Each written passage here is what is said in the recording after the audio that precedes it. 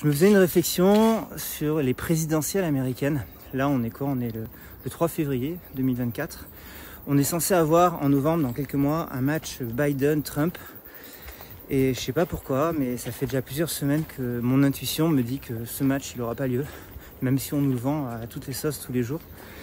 Euh, soit parce que l'un va mourir, soit parce que l'autre va mourir, soit parce que les deux vont mourir soit parce que Trump va être empêché, même si j'y crois pas trop parce que ce sera un cataclysme social, mais euh, peut-être aussi que Biden, qui est loin d'être le dernier des abrutis, et qui est probablement d'ailleurs piloté par Obama, il y a pas mal de gens qui disent que c'est le troisième mandat d'Obama, c'est pas pour rien. Peut-être aussi que Biden, il est en mode euh, je me présente, ça permet d'éliminer la concurrence puisqu'il n'y a personne de, sérieux en fait qui derrière aura le temps de se préparer parce qu'une élection américaine c'est un programme, c'est un milliard de dollars, c'est des donateurs, c'est une équipe, enfin, c'est colossal comme machine à lancer.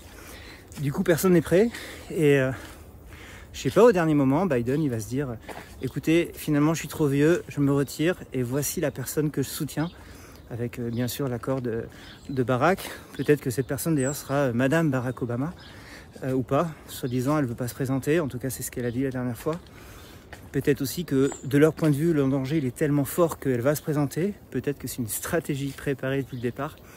En tout cas, je sais pas. Moi, le match Trump-Biden, qui est censé avoir lieu dans 8-9 mois maintenant, je le sens pas. Je sais pas ce que tu en penses. N'hésite pas à me dire dans les commentaires si oui ou non tu penses que ce match aura lieu ou pas.